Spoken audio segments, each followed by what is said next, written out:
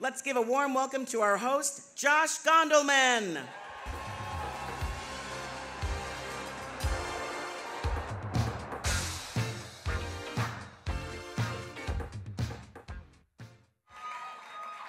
It's too much. Thank you. Oh my gosh, a reverse standing ovation. Everybody started standing and is now sitting as the show begins. This is perfect. Hello, everybody. Welcome to the 2024 Writers Guild Awards. That's right. Here we are together at the only award show that allows writers on the red carpet. Try that at the Emmys or the Oscars. Julianne Hough will body slam you through a table. I'm so excited to be here on stage at the beautiful Edison Ballroom, emceeing, that's right.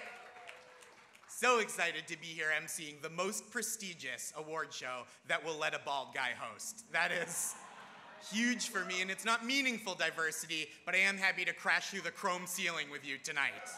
Thank you. Historically, the Writers Guild Awards have had a lot of predictive power in the industry. Not entertainment, not the entertainment industry at all, but we are considered a leading indicator of the first round of the NFL draft, so not nothing. This year, we are the final event of award season. The Golden Globes, ancient history. The Oscars were our opening act. The Writers Guild Awards are the headliner of all the award shows. That's right. Huge for us. Although it has been a little while since some of the nominated work was released. The Succession finale was so long ago that since it aired, Tom Wambsgans has already run the Waystar Royco company fully into the ground. So at long last, we are here tonight to celebrate writers. And a Writers Guild Award is a serious accomplishment. On the scale of writerly achievements, it goes uh, Writers Guild Award, finding an in-network therapist, working on something your parents have heard of, and Oscar's somewhere in there. Thank you. I will pause for laughs or the sound of people finishing chicken. So, either way, I'll wait till you're ready. but who am I? That's a question we're used to considering when a studio exec asks us, So, what's your story? And I'm sure some of you would like me to answer that question now. My name, as you've heard, is Josh Gondelman. I'm a writer, a stand up comedian, a WGA member for almost a decade. Thank you. Thank you. And I can tell that some people in this room are trying to figure out whether they've heard my voice on NPR or I just look like someone whose voice they might have heard on public radio. I'm also a four time Writers Guild Award winner for my work on Last Week Tonight and Desus and Mero. Thank you. Thank you. If that didn't get a round of applause in this room, I was going to walk straight off the stage and start studying for the LSATs, as was my grandmother's dying wish. Um, I am sincerely, this is no joke. I'm a little anxious to be up here in a room full of friends, colleagues, and several legitimate icons of the industry. There's that kind of old hat advice, right, of when you're nervous on stage, picture the audience naked.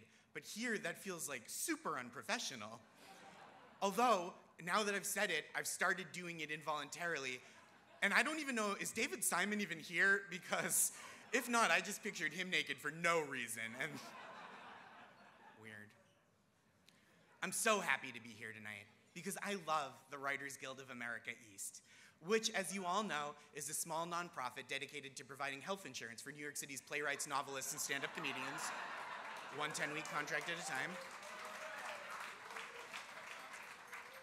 Some people in this room know me primarily as a strike captain, again, as has been alluded to. Yeah, thank you. That's. Thank you. To me, that is a real source of pride. I'm so proud to have been part of our enormous group strike effort.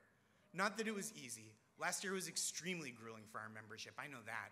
It was a real physical, financial, and emotional drain. But it was also so amazing to see the resilience and solidarity of our membership and our sibling unions. And it was exhilarating when we won a contract with so many benefits and protections for writers. That's right. And since, and since the strike ended, as a show of enduring solidarity, I have remained unemployed. Thank you. Thank you.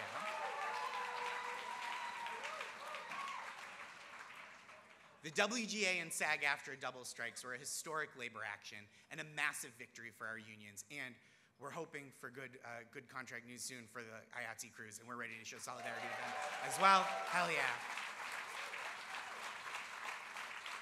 But even now, months later, I'm having trouble breaking some of my strike habits. Like every time I hear a truck honk its horn, I raise my fist in solidarity. And a lot of the time, the truck driver raises their fist back, sometimes only the middle part of the fist, but you gotta start somewhere. The strikes ended in the fall, but a lot of people are still getting back on their feet, of course, even some celebrities. For example, just to make ends meet, Jon Stewart was forced to take a part time job working Monday nights.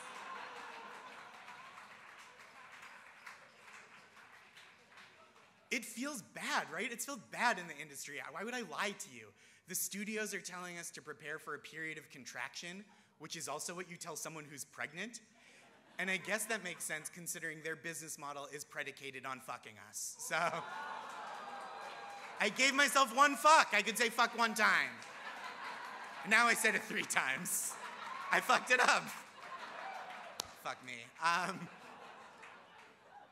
now industry and insider, now industry insiders have started saying, just survive till 25. Survive till 25. It's a little depressing that our industry mantra could double as the tagline for season two of The Last of Us. or the motto of Leonardo DiCaprio's next girlfriend. He's not here. One problem is many of the companies we work for aren't just making media, right? They're applying strategies from other industries. And credit where credit's due. David Zaslav has turned Warner Brothers Discovery into the Boeing airplanes of the entertainment industry. yeah. Between television and aviation, this year has been really hard on the concept of pilot season. Little wordplay. I'm not above it. The writers here tonight don't work exclusively in entertainment, though. One thing that's so special about our union is that we don't just represent TV and film writers. Our membership also spans several other dying industries.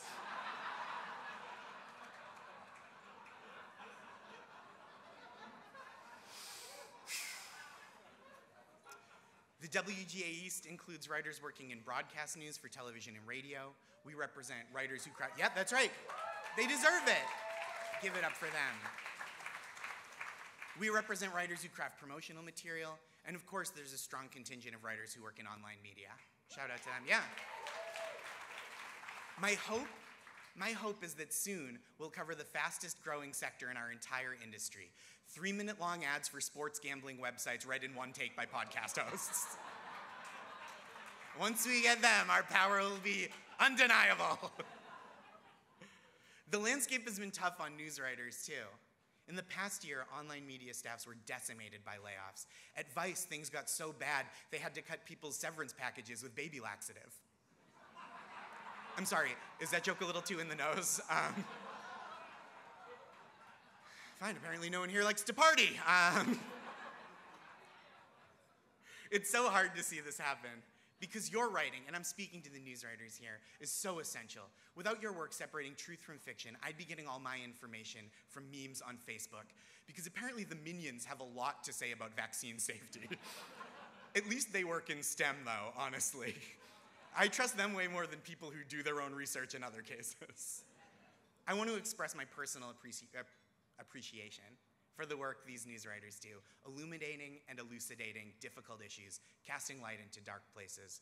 And there's been so much darkness in the world, from attacks on abortion, attacks on trans rights, and the ongoing warfare in Ukraine and Gaza.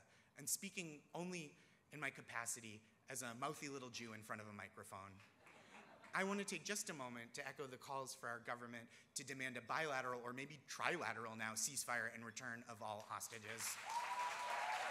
I don't.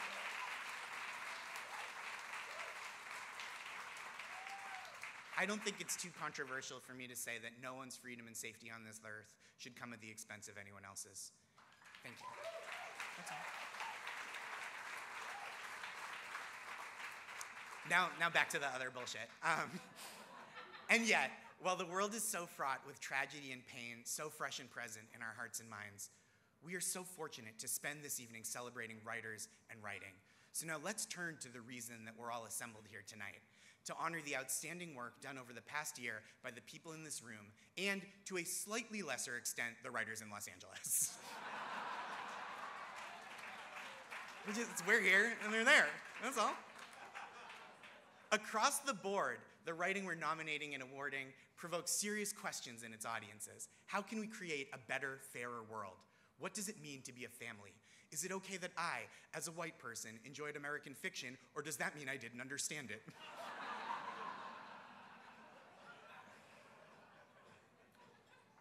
and on top of the artistic success of all this work, 2023 saw some of the most massive blockbuster movies of all time, and all of them started with the scripts. It was a huge year in film for stories about women finding their way and men losing control. Oppenheimer, Barbie, me on the couch during the last 15 minutes of Past Lives.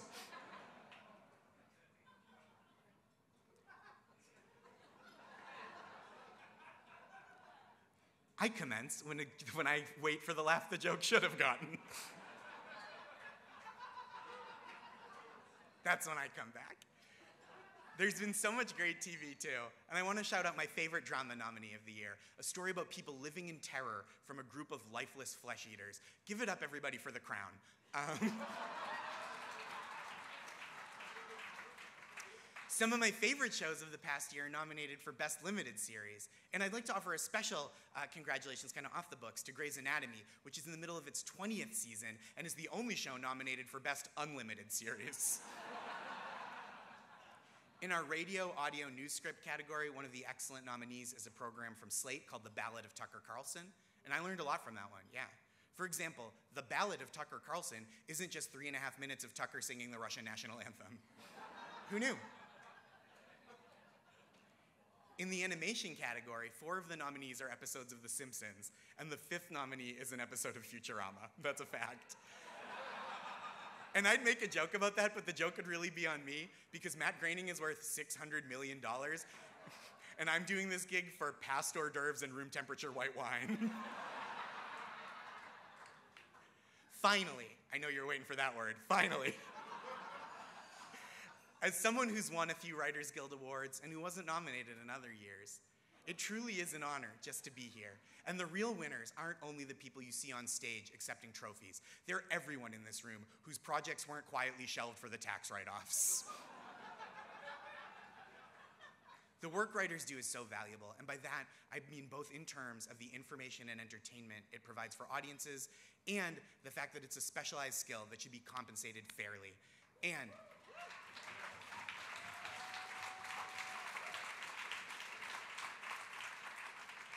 It is my great joy to help celebrate tonight the diverse array of talented people in this room and the incredible work that talent has borne. So just sit back, relax, and the next three hours will fly by. Which is also, of course, my Letterboxd review of Killers of the Flower Moon. and now it's time for me to introduce our first presenter. How are we feeling about that? How's it going, Writers Guild East? Hell yeah. We did it. We got through the opening monologue together.